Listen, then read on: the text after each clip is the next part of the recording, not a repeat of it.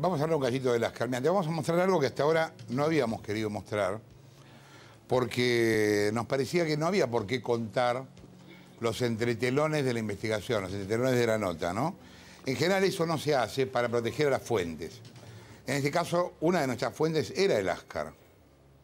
Y es gracioso, eh, fue, fue muy sorprendente para nosotros que el Ascar negara todo lo que dijo y que dijera un montón de barbaridades, pero y que nos acusara encima frente a la justicia de, mentir, de haber montado una operación y demás. Vos vas a ver ahora los, eh, WhatsApp que el Ascar intercambió con Nico Weñaski entre el 7 de marzo y el 17 de abril. Entre el 7 de marzo y el 17 de abril. ¿Cómo te vas a dar cuenta que no los inventamos nosotros? Están certificados por un escribano. ¿Qué haces, Nico? Ahí está. Bien, ¿qué tal? La certificación del escribano. Como vos decís, yo intercambié mensajes con él desde el 7 de marzo hasta el 17 de abril. Eh, creo que lo conocí el 6, eh, el 6 de marzo o el 5 en una oficina eh, en el centro porteño. Ese mismo día, cuando yo llegué eh, y me lo presentaron, él tenía en el papel, en la mesa en la que, en la que estaba sentado, los, los papeles, los documentos de Tigan. Tigan es una de las empresas con las que se lavó plata, que él dice que no conoce, y él nos dio los originales de Tigan. Porque aparte, ¿de dónde carajo vamos a sacar nosotros originales de una empresa hecha en Panamá para lavar plata? O sea, no los encontramos en la vereda, nos lo dio alguien. ¿Quién nos lo dio? El Ascar. los papeles originales, no solo de la creación de la sociedad en Panamá, sino además de los registros bancarios eh, que muestran que desde SGI se giraron un millón y medio de pesos por fuera del sistema legal a la cuenta de Tigan en Suiza. Efectivamente, nos lo dio él, los tenía él ese día. Ese mismo día yo hablé varias horas con él. Eh, obviamente tenía muchísimo miedo porque me contó que había sido amenazado de muerte. Lo primero que, hice, que logré hacer, porque él primero no me quería dar los papeles, fue sacarle fotos. Le saqué fotos y esas fotos yo las tengo en mi celular. Después de hablar eh, bastante tiempo, fuimos a tu casa, esto lo podemos contar, eh, hablamos con él y ese mismo día en tu casa él dejó los papeles ahí. Después obviamente en la justicia él eh, lo niega y dice lo contrario y nos acusa de un montón de cosas. Eh, acá está la certificación ante escribano, con lo que decías antes, que efectivamente mi celular... Todo lo vas a ver ahora, salió del teléfono de Guiñaski y tiene la fecha y la originalidad de ese teléfono. 40 fojas de, chat con el ASCA. 40 páginas de chat, no vas a ver las 40, pero te pido por favor que prestes atención a cómo se va desarrollando toda esta historia. Imagínate todo esto antes del 14 de abril, o sea, antes de, nuestro primer programa de este año.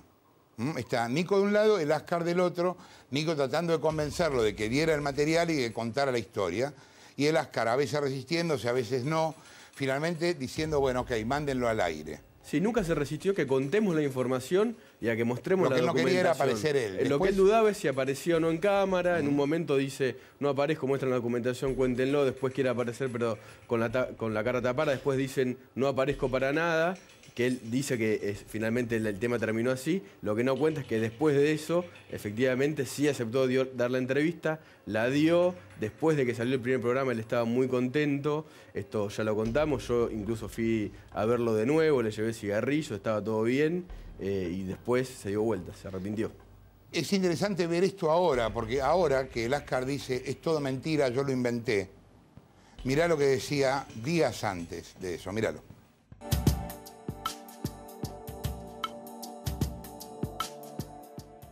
Todo empezó el jueves 7 de marzo de este año. Después de encontrarse personalmente con Nicolás, Federico Eláscar le escribió por primera vez a las 20 y 42. Nico, pásame tu mail, que así te envío info para que empieces a investigar a estos personajes. En ese momento, el estaba hablando de Daniel Pérez Gadín, la persona que después se quedó con SGI, de Fabián Rossi, de Leonardo Fariña y de Martín Báez, el hijo de Lázaro. Tres días después, el domingo 10 de marzo, me contestó lo siguiente cuando le pedí otra reunión. Dale, déjame, que mañana me reúno con dos personas a la mañana para ver un poco más en profundidad el alcance de todo y mi estrategia. El material lo vas a tener y mi testimonio también. Probablemente de espaldas, y no por miedo a estos tipos, sino porque no me interesa que se haga público mi rostro. Seguro mañana nos vemos. Hoy te mando info por la noche. Lo que estábamos discutiendo era si el Ascar iba a dar o no una entrevista frente a cámara. A él le interesaba contar cómo le habían robado a su empresa y nosotros queríamos que respaldara con una entrevista los documentos de Tigan que ya nos había entregado. El mismo 10 de marzo, el Ascar siguió chateando con Nicolás. A las 18 le dijo, Espérame, Nico, que primero tengo que ver a mis abogados. Mariano Cunio, sobre todo. No hay problema con la nota, entendeme eso. No puedo incriminarme en nada y tengo que seguir una estrategia yo también. No puedo incriminarme, dijo el Ascar. Un dato más que evidente de que él habría participado de maniobras que ahora podrían complicarlo. Nuestro compromiso era cuidarlo como fuente de toda la información que podía aportarnos. Pero un día después de asegurarme que iba a dar la nota, el Ascar se arrepintió por primera vez. Me lo hizo saber con este mensaje que escribió el 11 de marzo.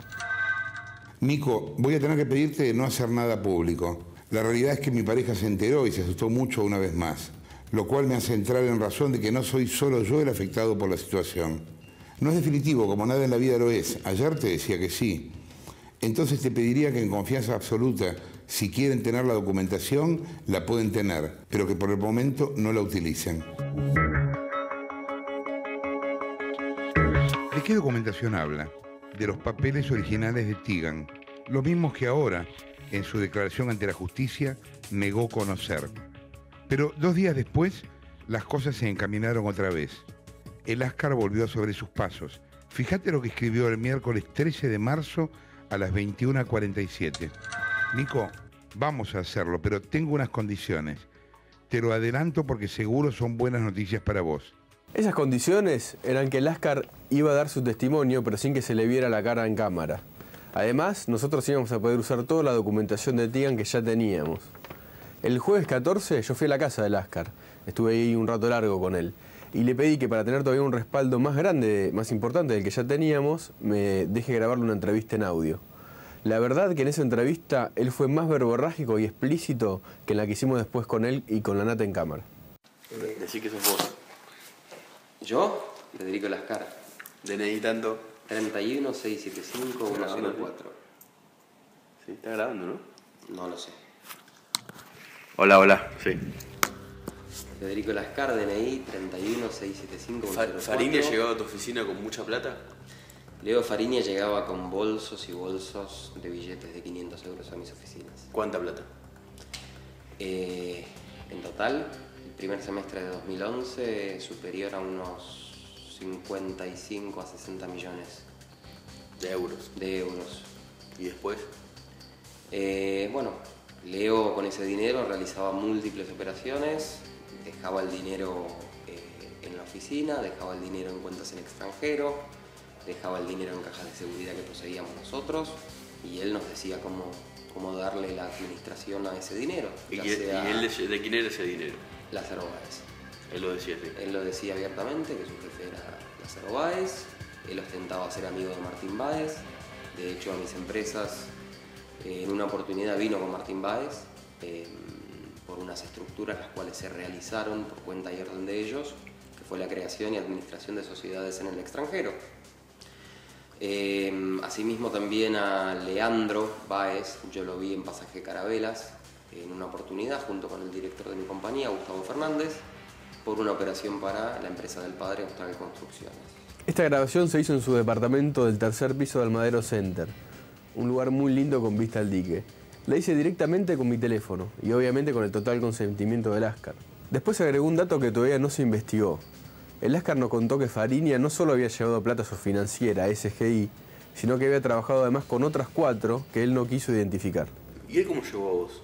Él como llega a mí, él llega a mí por eh, una persona interpósita, es el hijo de un empresario argentino. No querés decir, ¿no? No tengo ganas de matarlo en este momento. No, no, no, no viene el caso. Viene el caso que en realidad lo trajeron y lo trajeron de buena fe. Eh, Leo lo que estaba necesitando era alguien que le solucione sus cuestiones financieras. Mucha plata, sin saber qué hacer, muchas operaciones a pedido de su jefe y sin saber cómo ejecutarlas. Entonces Leo no es que nada más vino a mí. Leo vino a mí y fue también a tres o cuatro más. ¿Otras financieras? ¿Sabes los nombres? eh, sí, pero no te las puedo decir tampoco. Después vino toda la parte que le interesaba a él, el modo en el que se habían quedado con su financiera, SGI. Lo que se destaca ahí es la manera en la que él vincula a Lázaro Báez con toda esta operación. A mí no me dieron chance de negociar. De hecho, cuando yo le dije que no aceptaba la oferta de su jefe y que me gustaría negociar, me dijo, pendejo, acá no hay nada que negociar. Si decís que no, te rompemos el lunes. Y querés negociar, anda a golpear la puerta o al cárcel 50. La Casa Rosada. Exactamente. Entonces, ¿cómo no te vas a asustar? Cuando encima vienen ellos eh, enviados de las Báez, que encima al principio me dijeron que eh, sus clientes eran mexicanos, que eran peores que colombianos y que por eso yo debía colaborar. Si no quería O sea, terminar... Dándote a entender que eran del narcotráfico. Dándome a entender que eran del narco para que para meterme miedo. Cuando yo tenía siempre mi suposición de que era dinero de las Arbaez y el problema venía por las Arbaez. ¿Cómo se llama la empresa suiza que te compró? El Betic Services Group Sociedad Anónima, apoderado de las Arbaez. No te lo O sea- puedo demostrar, pero es de él. Que es de él. No, no intuyo, lo sé.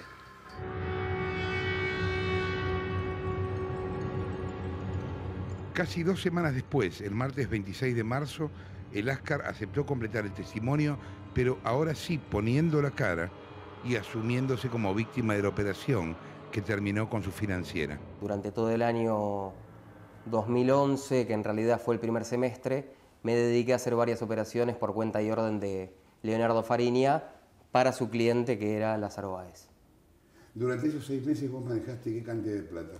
Aproximadamente unos 55 millones de euros. A las 22.11, apenas minutos después de que termináramos de grabar el reportaje y de que saliéramos de su departamento, el Ascar le escribió a Nico. Sos un hijo de puta, pero me caen de puta madre vos y Jorge. Sabés que tengo la mejor y ojalá pueda contribuir con mi granito de arena a romperles bien el orto a estos corruptos. Al día siguiente tampoco dio señales de estar molesto por algo. Es más, chateamos desde la mañana. Lo único que le preocupaba es que él decía que se había confundido con un dato en la, no- en la nota, un dato económico.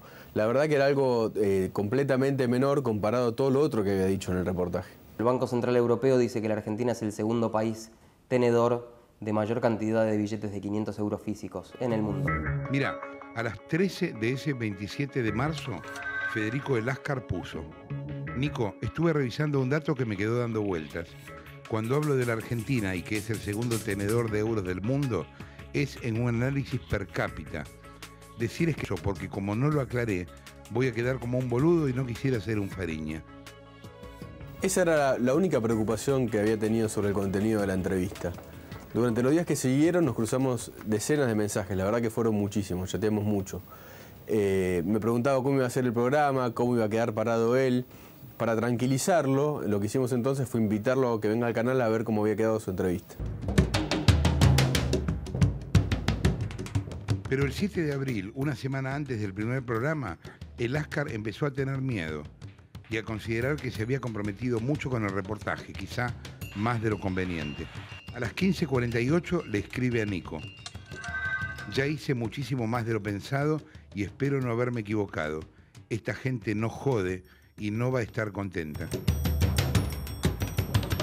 En la madrugada del lunes 8 de abril me escribió un mail en el que volvió sobre sus miedos.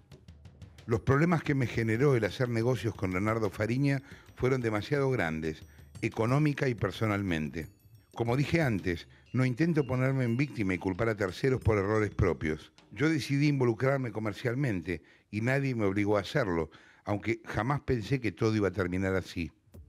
Daniel Pérez Gadín piensa y siente que por ser un hombre de total y absoluta confianza del señor Báez es intocable y actúa en consecuencia. Por eso mismo actuó con la impunidad que lo hizo. Y por eso es que no le importa ser un delincuente tan burdo que mudó sus oficinas a las mías y utiliza mi auto. Estas actitudes denotan el nivel de delincuencia y desprolijidad con el que se manejan. Ese mismo nivel de delincuencia e impunidad es el que a mí me genera preocupación y miedo, ya que podrían llegar a tomar medidas frente a mi testimonio. El mismo día, pero a las 22.30, me mandó un nuevo mail, pero ahora para pedir que no se publicara la entrevista. Jorge, debo pedirte perdón, ya que luego de una larga charla con quien para mí es la persona más importante de este mundo, yo mismo, he decidido no participar en el programa en forma parcial o total, ya que las cosas a medias no funcionan y ambos lo sabemos. Sí pueden utilizar la información, ya que es verídica, pero no deseo estar vinculado de manera directa a los hechos y documentos. Nos dejaba usar toda la información que nos había dado, pero sin que apareciera él. El 10 de abril a las 23.58 recibí un nuevo mail de El Ascar. Ya estaba enterado de que la nota iba a salir igual, pero en ese mail no desmiente nada. Te leo un fragmento. Si tu intención es sacarme al aire de todas formas porque tenés la entrevista grabada, te quiero pedir al menos que me lo digas. Así puedo por lo menos irme. A las pocas horas, en la madrugada del sábado 13 de abril, un día antes de la salida al aire del programa, volvió a escribirme. Menos asustado, pero algo más preocupado en cómo podría quedar su imagen, el Ascar me dice. Quisiera comenzar el siguiente correo manifestando que a pesar de mis miedos, los cuales me llevaron a una gran crisis esta semana pasada y eventualmente replantearte la salida al aire del domingo, sé que la nota saldrá al aire y seré parte del programa. Yo lo único que te pido encarecidamente es que me cuides, Jorge. Tenés mi confianza desde el primer día y no me arrepiento ni un minuto de habértela brindado. Sos la única persona con la que me animé a hablar de esto y con la única que me sentí realmente seguro de hacerlo.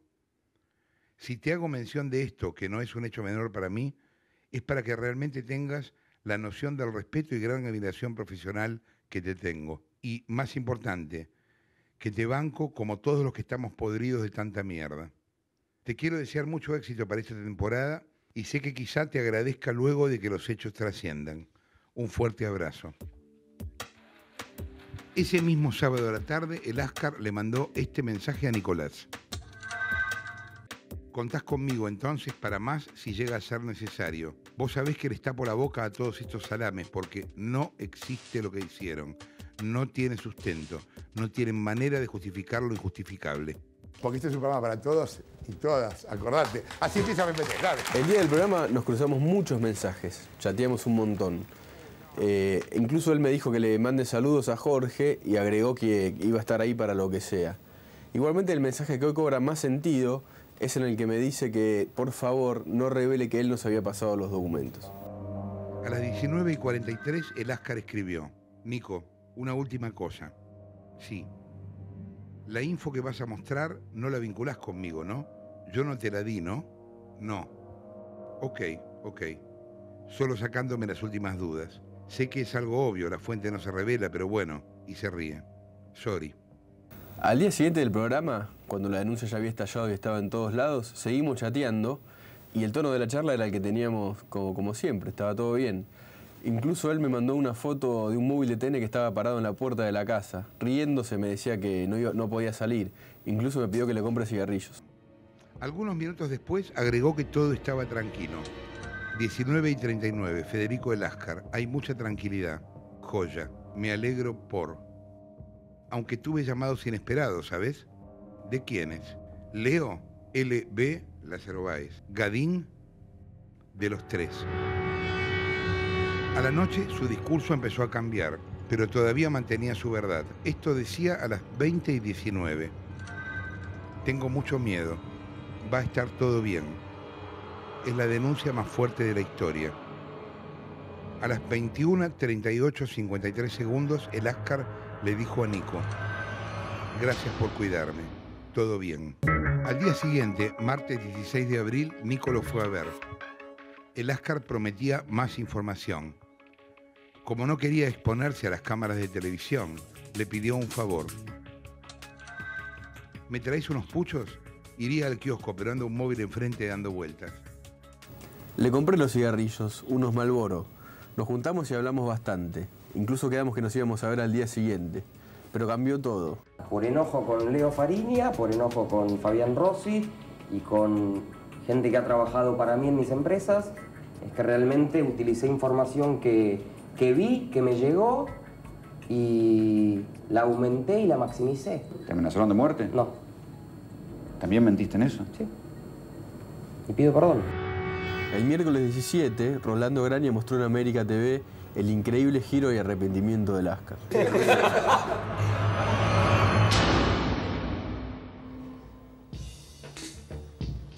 Ahí lo tenés a El Ascar. Eh, a ver, varias cosas. El Ascar fue una de nuestras fuentes, no fue la única. El Ascar declaró el otro día ante Casanelo, cuando le preguntan por mí y por Nicolás, son unos hijos de puta. El mismo que se reía recién en su casa, en el tape. Es cierto que no hay que revelar lo que. No, hay que revelar nunca la identidad de una fuente y nosotros lo respetamos siempre. Ahora, cuando esa fuente después miente, nos ataca, dice que fue todo mentira, nos trata de desacreditar, no vamos a respetar la identidad de la fuente. ¿Mm? Eh, bueno, esto que viste es el verdadero Eláscar.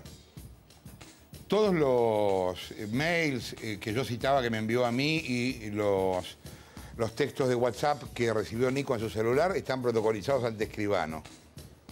Podemos dárselo a la justicia si nos lo pide y es rigurosamente cierto todo, el horario, el día, el texto, etc. ¿Mm? Lo que viste vos ahí es una cuestión artística que se va escribiendo. Ya está escrito, no se va escribiendo, es obvio. Están en la pantalla del celular.